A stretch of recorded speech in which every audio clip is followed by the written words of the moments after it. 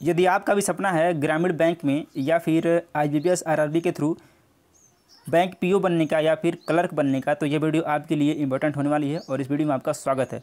Video में पूरा अंत तक बन रही है हम संपूर्ण मतलब सब कुछ कवर करने वाले हैं कि क्या योग्यता है और क्या एग्ज़ाम डेट है, क्या फ़ीस रहने वाला है, सब कुछ इसमें डिटेल्स में कवर करने वाले हैं। तो इसमें स्वागत है और इसमें बात करेंगे आई बी के थ्रू, जो कि अन्य कई सारे ग्रामीण बैंकों में यहाँ से नियुक्ति होती है। तो चलिए देखते हैं। सबसे पहले बात करेंगे कि इसमें एग्ज़ाम डेट फॉर्म कब से भरा रहा है? तो सात छः हज़ार बाईस से सत्ताईस छः हज़ार बाईस तक फॉर्म भरे जाएँगे। अब बात करते हैं इसमें हम जो है कि इसमें योग्यता क्या है, यानी कि एलिजिबिलिटी क्या है? तो आपको ग्रेजुएट होना चाहिए, ठीक है? ग्रेजुएट ये क्लर्क के लिए है और यदि आप ऑफिसर स्किल वन चाहते हैं तो उसके लिए भी आपको ग्रेजुएट होना चाहिए। बाकी कई सारे ऐसे पोस्ट हैं जहाँ पे आपको एक्सपीरियंस चाहिए और कुछ अलग जो है योग्यता चाहिए। तो उसको आप डिटेल में देखेंगे, इस वीडियो के अंदर।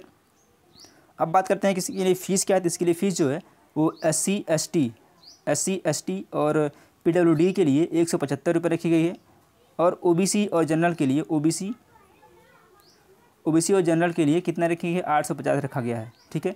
ये तो हो गया फ़ीस और योग्यता। अब बात करते हैं कि अब इसमें कैसे कैसे क्या होने वाला है तो जो इसका प्री ट्रेनिंग होने वाला है, इसके पहले एग्ज़ाम से पहले इसकी ट्रेनिंग होती है, जो कि अट्ठारह जुलाई से तेईस जुलाई के बीच में इसकी ट्रेनिंग होगी और जो इसका प्री एग्ज़ाम होगा वो होगा जुलाई या या सॉरी अगस्त में होने वाला है इसका एग्ज़ाम ठीक है आप यहाँ पे देख पा रहे हैं। ऑनलाइन एग्जामिनेशन प्रिलिमिनरी यानी कि प्री एग्ज़ाम जो होगा अगस्त में होगा और जो मेंस होगा वो सितंबर में होगा और इसका स, मतलब डिटेल इसको आपको ज्वाइनिंग जनवरी दो हज़ार तेईस में करा दी जाएगी। तो यदि आप जल्दी से नौकरी चाहते हैं और बैंक में चाहते हैं तो आपके लिए यह इंपॉर्टेंट होने वाला है क्योंकि इसमें इंग्लिश आता नहीं है। प्री में सबके लिए इंग्लिश नहीं आता है और प्री में क्या सबके लिए समान है? क्या है? मैथ है और फिर रीजनिंग है, ठीक है? तो प्री में मैथ रीजनिंग सबके लिए होने वाला है, अस्सी क्वेश्चन होगा और अस्सी मार्क्स का होगा, ठीक है? अस्सी क्वेश्चन, अस्सी मार्क्स। तो ये तो सबके लिए बराबर है। जब आप मेंस जन जाएँगे तो मेंस में आपके अकॉर्डिंग या तो आप इंग्लिश लीजिए, उर्दू लीजिए या फिर हिंदी लीजिए। वहाँ से आपको, वहाँ से आप वहाँ से डिफरेंट कर पाते हैं। लेकिन यदि आप ग्रामीण क्षेत्र से हैं तो आपके लिए यह वैकेंसी काफ़ी इंपॉर्टेंट होने वाली है और इसमें कम समय में आप अच्छी नौकरी पा सकते हैं।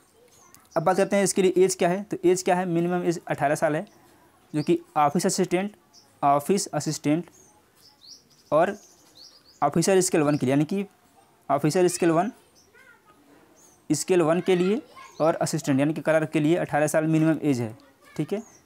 और इसके बाद जो ऑफिसर स्केल टू और थ्री हैं, उसके लिए मिनिमम एज इक्कीस साल है।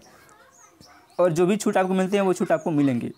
तो ये एक इन्फॉर्मेशन था, यदि आप ग्रामीण बैंक में पीओ या फिर नौ क्लर्क बनना चाहते हैं तो आप ज़रूर अप्लाई कीजिए और तैयारी कीजिए। कम टाइम में आप अच्छी नौकरी पा सकते हैं। धन्यवाद।